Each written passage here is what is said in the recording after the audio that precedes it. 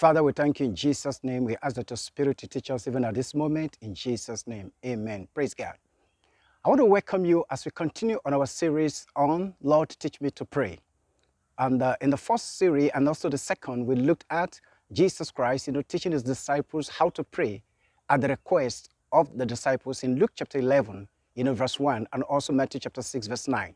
Specifically, we looked at that Jesus said unto them that when you pray, say, Our Father, and that you must have a relationship with the Father before you can truly pray, and also that you must recognize God and know Him as your Father before you can pray effectively. Amen.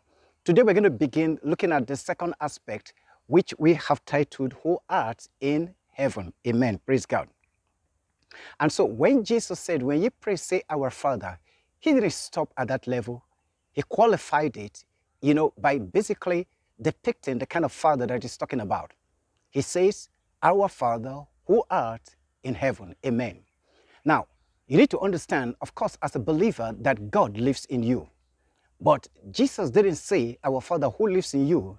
Instead, he says, Our Father who art in heaven. Amen. Again, as I said, as a child of God, once you give your life to Christ, the Bible says in 1 Corinthians chapter 3, verse 16, also, and also in 1 Corinthians chapter 6, it says that ye have become the temple of the living God. So it is true that God dwells in you as a believer. But when Jesus said, when ye pray, say, Our Father, he didn't refer to the fact that you should be praying to the Father that is inside of you, though he recognizes that God lives in you. But he says, Our Father who art in heaven. And obviously, when Jesus says, Our Father who art in heaven, he's talking about the God who lives in the heavens. And anyone who dwells in the heavens is greater than the one, you know, who dwells on the earth itself. Amen. Anyone who is in the heavens is above the person who is on the earth. And anything that relates to the heavens, you're talking about the supernatural. And so Jesus is talking about you having faith in the supernatural before you can pray effectively. Amen. Because you're actually approaching a God, you know, who lives in the supernatural because he is supernatural himself. And you will see that through the earthly ministry of the Lord Jesus Christ, whenever he prays, the Bible says, and he looked unto heaven. Why did he look on the earth? After all, God is everywhere. But it was to teach us a lesson that you are praying to the God who lives in the heaven. Praise God. And so you must have faith in the supernatural for you to be able to pray effectively. Your faith must be in the God who not only is here, but whose glory fills the entire universe. The primary dwelling place of God is in the heavens. And you see that, you know, depicted, you know, in Hebrews chapter 12, verse 22 to 24, where it talks about the heavenly Jerusalem, Mount Zion, and to the innumerable company of angels, you know, and the dwelling place of these angels is in the heavens. Amen. So Jesus is saying, when you pray, say, Our Father who art in heaven. Amen. Now, I want us to also take a different look at this subject of our Father who dwells in heaven.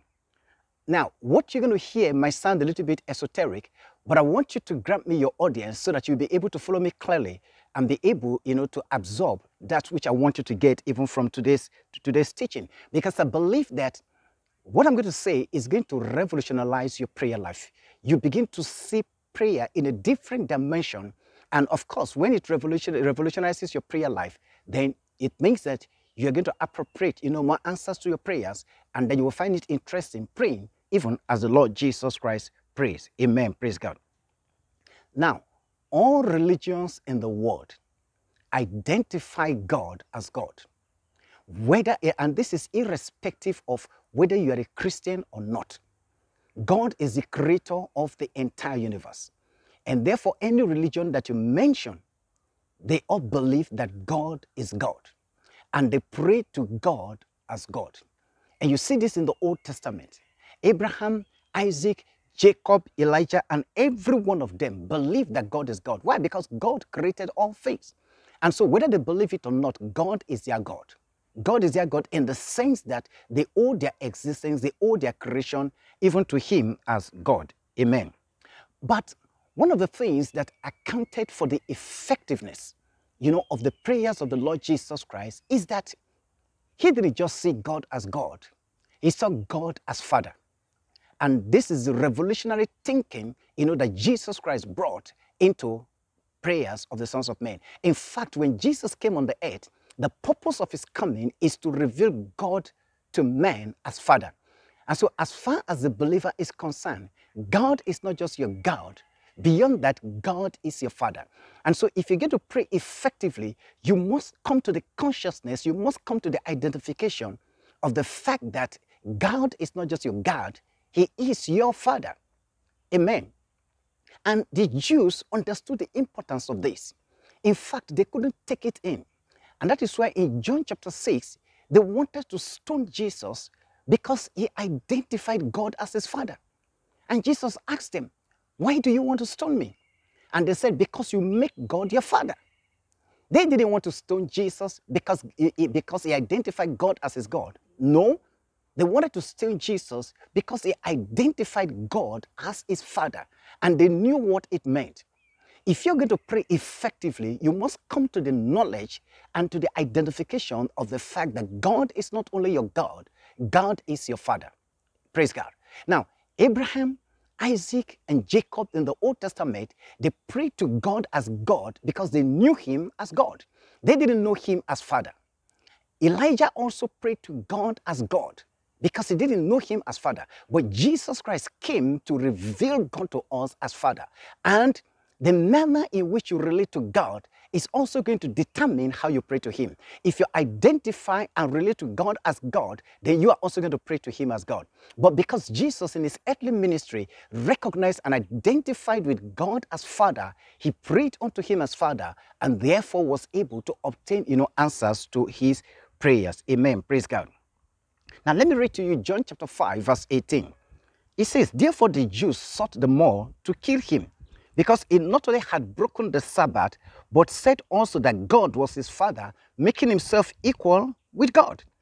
They had no issues with Jesus addressing God as God, but they had all issues with Jesus addressing God as his father. And so, until you come to an understanding and to developing a walk with God as Father, your prayer life is going to be dwarfed. You're not going to be experiencing answers to the prayers, and the spiritual life is going to be very frustrating to you. I must tell you, there is nothing as frustrating as praying and not receiving answers to one prayers.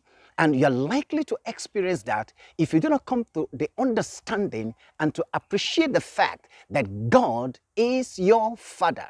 He is not just God to you, He might be God to the entire world, but beyond He being God to you, God is primarily your Father. Amen. Praise God. Now, now being born again, you know, as a son of God, does not imply that you come to understand and to appreciate God as your Father. There are many Christians who see God as God, but they do not identify with God as their Father. In fact, as I said, if you look at the Old Testament, God was presented to them as God. And because he was presented to them as God, they feared God. They saw God as being so dreadful. They saw God as someone not to move close to. They saw God as someone to be far away from. But when Jesus Christ came and introduced God as a loving Father, what, God, what Jesus did was to draw us close unto God so that we can identify, you know, God as our Father. And that brings a loving kind of relationship. And then we, we, we have faith in the fact that even as we cry unto God as our Father, He is able to hear us. As I close this subject, how do you see God? Who is God to you? Do you see Him just as God? Or you have come to embrace God as our Father? Jesus came into this world to introduce to man the fatherhood of God. God is not only your God, is your God by creation, but by redemption, God is your Father. And when you come into a loving relationship with Him as Father, then you can trust God that He will answer your prayers even as you pray unto Him. Jesus said, When ye pray, say, Our Father who art in heaven. God dwells in the heaven, and we have a loving relationship with Him. He is supernatural. It is by faith that we see Him. It is by faith, based upon the blood of Jesus, that we relate even unto Him.